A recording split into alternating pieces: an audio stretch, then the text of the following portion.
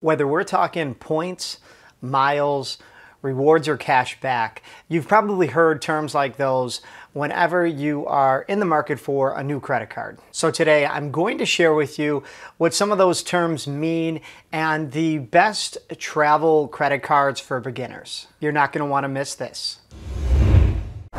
So you heard right.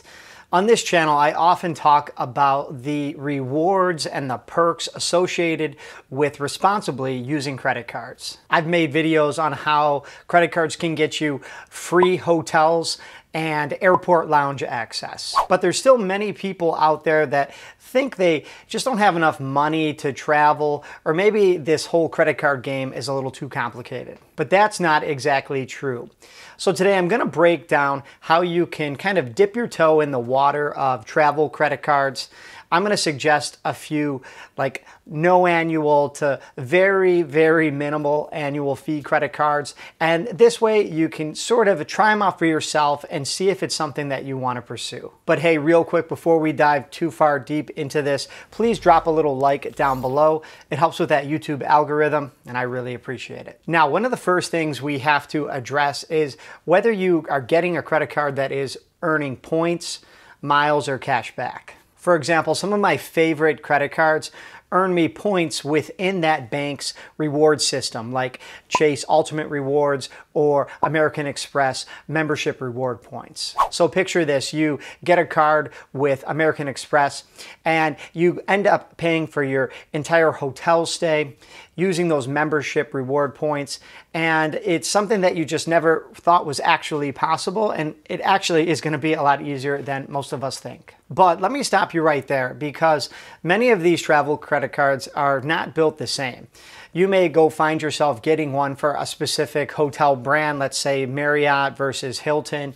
And depending on where you want to go, the redemption value or the cost per night may be drastically higher than if you would have went with a different hotel chain. And one more basic thing to keep in mind is that all the cards we're going to discuss really do need to be paid off in full and on time.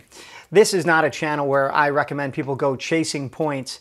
Rather, you put your everyday spending or some of those larger business purchases on a card and you reap the rewards. Now, the first card I want to recommend is the Chase Sapphire Preferred. It's been in the news a lot for an insane sign up bonus that only happens every few years. As of this recording, it is coming to an end, so you can expect anywhere between 60,000 points when you sign on or all the way up to maybe potentially 100,000 points.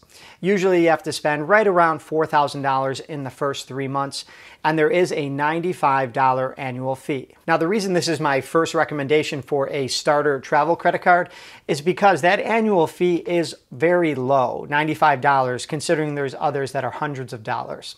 However, you're going to get some perks like some Lyft credits, maybe even some hotel credits when you book through the Chase portal. But some of the number one things I want to point out to you are things like trip cancellation insurance. If you have to rent a car and you put it on this card, they're going to give you primary car insurance coverage. That means that your own car insurance kicks in after the card's primary uh, insurance kicks in first. There's also trip delay reimbursement if your flight gets canceled for a certain amount of time and you need to take like an Uber to a hotel uh, rent a hotel for the night, even pay for food, you get reimbursed. So this is a great card in case you have some future travel planned and you're not looking to spend a lot on the annual fee. The next card up is going to be number two on my list, the Capital One Venture Rewards credit card. It's coming in with that same $95 annual fee. However, you only get, as of this recording, 60,000 points when you sign up and meet the minimum spending requirement. That's usually right around $3,000 in the first three months. But people love this card for basically two reasons. Um, you get a simple 2x points on all your spending. So it doesn't really matter what category or specific merchants you use the card for, you're going to get those 2x points. And the other great thing is that you can use those points to essentially erase or reimburse yourself for anything that's coded as travel when you swipe the card. So, needless to say, this is a great card for everyday people who just want to use it for everyday purchases, knowing that eventually you're going to put some travel on there and you can essentially use those points to erase the travel and pay yourself back. It does offer some travel accident insurance. And again, uh, a similar car insurance coverage. However, it's secondary, which means your car insurance kicks in first. Like I said before, many people like this card uh, specifically for trips like to uh, Disney World or Disneyland. There's ways where you can purchase the tickets and even maybe some of the flights, hotels, rental car, and again, just reimburse yourself. So keep this one on your radar. And number three on my list is going to be the American Express Gold Card.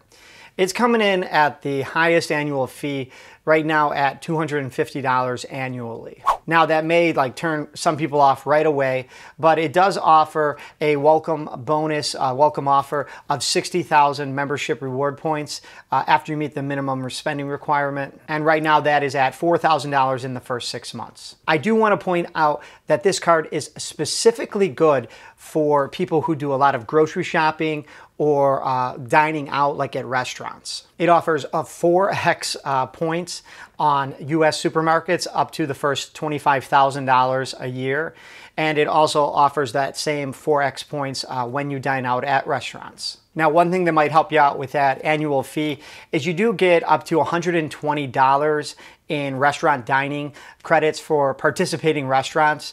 That's not as easy to use as you think, uh, but it is available, so it's just something to keep in mind. Now, the last thing that I'll say about the Amex Gold card is that it's a sneaky little travel card simply because all of the membership reward points can be transferred to the Amex travel partners. There's uh, more than a handful. I think there's close to 20. So whether you're looking for hotel partners or a specific airline you're looking to book with, you could transfer those points. And sometimes they do a really cool like uh, offer where you know one point that you transfer is worth two or three, sometimes even more. So if you like the Amex cards, I would say look into the gold one and don't let that $250 annual fee kind of deter you. Some people absolutely love the gold card. In fact, I did a whole video on it that I will link right about here.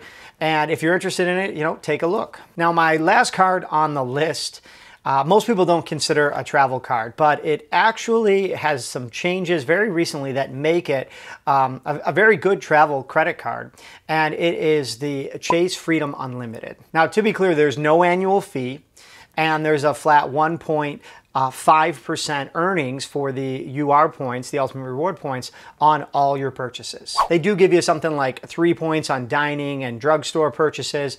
But the reason it's an interesting travel credit card is because it will give you 5% cash back when you book through Chase's travel portal. And again, I, I going to link it here. I, I, did a whole video on how this is a sneaky travel credit card. Now the sign up bonus isn't that great. I think at the time of this recording, you get a, like a couple hundred dollars, maybe it's 200, sometimes it's more, um, simply by spending a very small amount like $500. Still, for some people who like traveling but don't like paying any sort of annual fee, I would think one of the best kind of sneaky travel starter credit cards you could get for travel would be the Chase Freedom Unlimited. A couple of key takeaways. Travel can be intimidating for many people. Right now, some people are wondering, you know, is it safe to travel? Um, it travels too expensive. I, I just can't find the time to do it. But I am telling you from experience. In fact, I just released my first ebook, link down below in the description, on how to get the Southwest Companion Pass where you and a companion can essentially fly buy one get one free for up to two years. I guess what I'm saying is that there is an entire world out there of travel rewards and perks and they're available to people who simply are willing to apply for the card and work within the ecosystem that the bank sets up. Whether we're talking about Chase points, Capital One points, or American Express points. All of them have their pros and, of course, their cons. But if you know how to strategically use them, then you could find yourself traveling potentially for free for years upon years. So really just remember that learning how to use points and miles specifically for something like travel is learning a new like literacy. You can speak a language that other people understand and some people it's just noise and they need to dismiss it. But please don't be somebody out there that dismisses it for the wrong reasons. In fact, please check out my website. It's full of other articles all about things like traveling for free and personal finance. So please give it a look. I really appreciate it. Also, you can follow me on Instagram at richsmithedu. I've been posting a lot more frequently there and I love interacting with people in the comments, so go check it out. Also, if you're new to the channel, please don't forget to hit subscribe and ring that notification bell. All right, as always, I'm Rich, and until next time.